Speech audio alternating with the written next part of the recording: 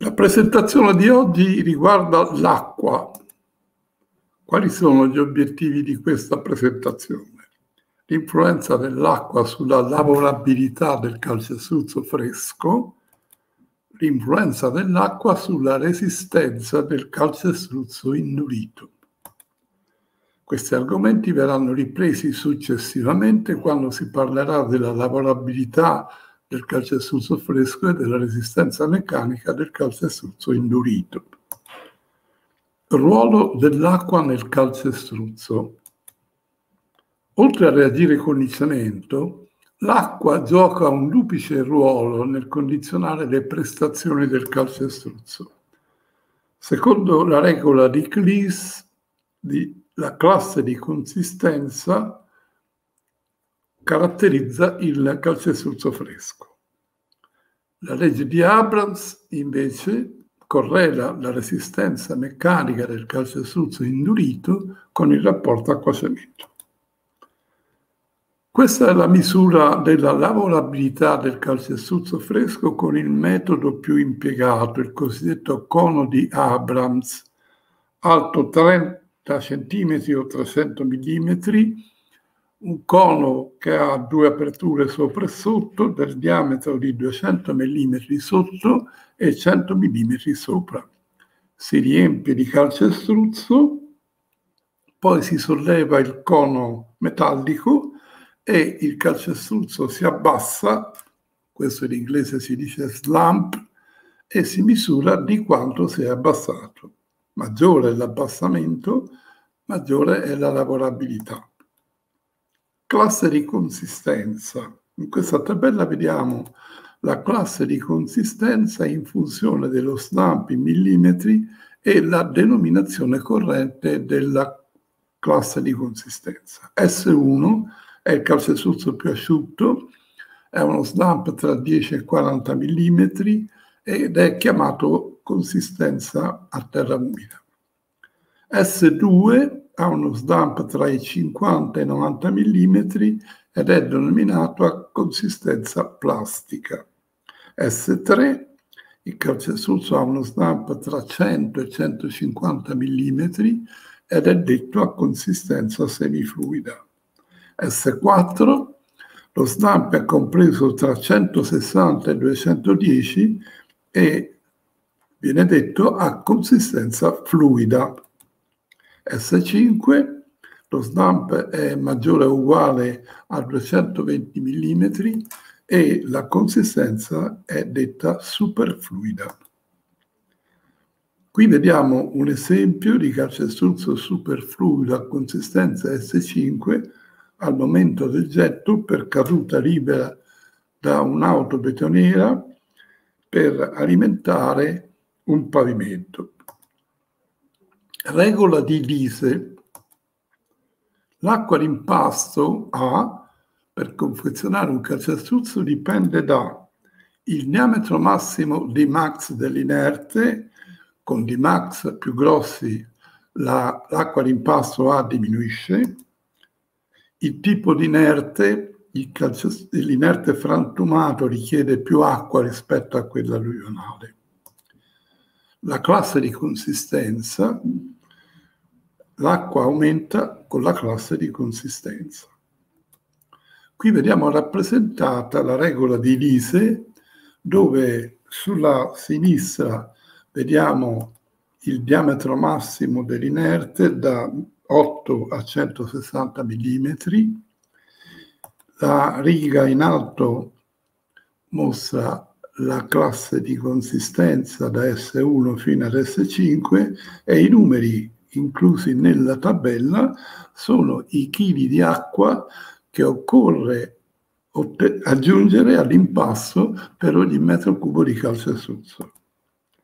Questi valori che leggiamo nella tabella vanno ridotti di 10 kg se gli inerti sono alluvionari, tondeggianti e lisci e vengono invece aumentati di 10 kg se gli inerti sono di frantumazione e ruvidi.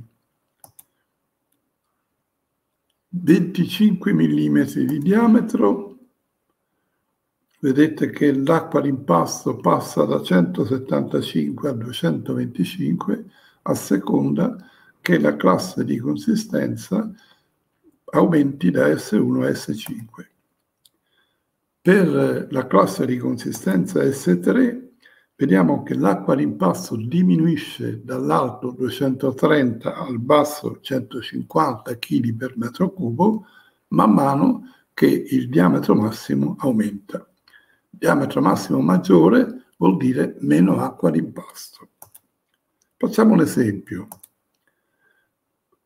Con un Dmax di 25 mm, che vedete sulla sinistra tondeggiato, è una classe di consistenza S3. L'acqua d'impasto, che leggiamo nella tabella, è 210 kg per metro cubo. Se ammettiamo che l'inerte è alluvionale, va diminuito di 10, quindi l'acqua d'impasto risulterà essere 200 kg per metro cubo. Legge di Abrams. La resistenza è uguale a K1 diviso K2 elevato al rapporto acqua-cemento, dove R è la resistenza meccanica a compressione. Qui vediamo l'andamento grafico di questa legge. Sulla ascissa abbiamo il rapporto acqua-cemento e sull'ordinata la resistenza caratteristica a compressione in newton per millimetro quadrato quando si impiega un cemento CEM 2AL 425N. Sappiamo che questo simbolo indica un cemento al calcare con un basso ottenuto di calcare A e con una classe di resistenza del cemento pari a 42,5N. Se partiamo da 30 N per millimetro quadrato con questo calcestruzzo, vediamo che dobbiamo adottare un rapporto acquaciamento 0,63 per ottenere questa resistenza meccanica. Facciamo però degli esempi sulle riaggiunte d'acqua sul cantiere. Esempio pratico. 30 megapascal la resistenza caratteristica richiesta, S3 la cassa di consistenza, l'inerte alluvionale con un diametro di 25 mm. Facciamo un esempio di messa in opera senza riaggiunta d'acqua sul cantiere. Abbiamo visto che con un diametro massimo di 25 mm ed una classe di consistenza S3, l'acqua con l'inerte alluvionale è 200 kg per metro cubo. Quindi per una RCK di 30 megapascal il rapporto acqua-cemento sarà 200 che è l'acqua diviso C che è il dosaggio di cemento, questo deve fare 0,63 come abbiamo visto dal grafico precedente. Pertanto C è uguale a 200 diviso 0,63, 317 kg per metro cubo. Facciamo adesso un esempio in cui il diametro massimo è sempre 25, ma si aggiunge più acqua fino a portare la classe di consistenza del calcestruzzo ad un S5. Come vedete il valore dell'acqua sale a 225, se l'inerte alluvionale si sottraggono 10 kg per metro cubo e l'acqua diventa 215 kg per metro cubo. Vediamo l'acqua d'impasto per aumentare la lavorabilità sul cantiere dal calcestruzzo semifluido al calcestruzzo superfluido. Per la classe di consistenza semifluida S3 l'acqua è 200. Se aggiungiamo più acqua sul cantiere per portare la classe di consistenza a un valore più elevato S5, l'acqua che occorre aggiungere è 215 kg per metro cubo di aggiunte d'acqua sul cantiere. Senza la raggiunta d'acqua abbiamo visto che la RCK 30 megapascal porta a un rapporto acqua-cemento di 0,63 e a un dosaggio di cemento di 317 kg per metro cubo. Se si riaggiunge l'acqua, con lo stesso inerte 25 mm di diametro massimo, alluvionale, ghiaia, se la classe di consistenza S5 abbiamo visto che l'acqua aumenta e diventa 215 kg per metro cubo. Se il cemento rimane lo stesso perché abbiamo riaggiunto solo l'acqua sul cantiere, il cemento è 317, pertanto il rapporto acqua-cemento diventa 215 acqua diviso il cemento 317, di fatto con questa riaggiunta all'acqua abbiamo aumentato il rapporto acqua-cemento a 0,68. Ecco cosa succede sul grafico che correla la resistenza meccanica con il rapporto acqua-cemento. Abbiamo visto che con 30 sull'ordinata la scissa era 0,63, ma adesso, avendo riaggiunto l'acqua, partiamo da 0,68 sulla scissa e vediamo che penalizziamo la prestazione meccanica abbassandola da 30 a 24 megapascal. Responsabilità nella riaggiunta d'acqua sul cantiere. Chi è responsabile? Il preconfezionatore? L'impresa? Il direttore dei lavori? Il progettista? Secondo il paragrafo 11.211 delle norme tecniche per le costruzioni, il progettista ha l'obbligo di prescrivere la classe di consistenza in funzione della tipologia e della difficoltà esecutiva della struttina al fine di garantire un'adeguata messa in opera senza rischi di difetti a vista o alveoli interni.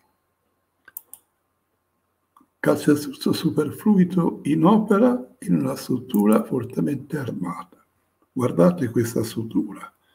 Chi più del progettista conosce la difficoltà esecutiva di un'opera come questa? È chiaro che per un'opera come questa il progettista è il primo responsabile se non prescrive al preconfezionatore di consegnare un calcestruzzo a classe di consistenza S5. Sarà poi il direttore di lavori a verificare che effettivamente la classe di consistenza S5 mediante una misura dello stampo. Grazie per l'attenzione e alla prossima presentazione.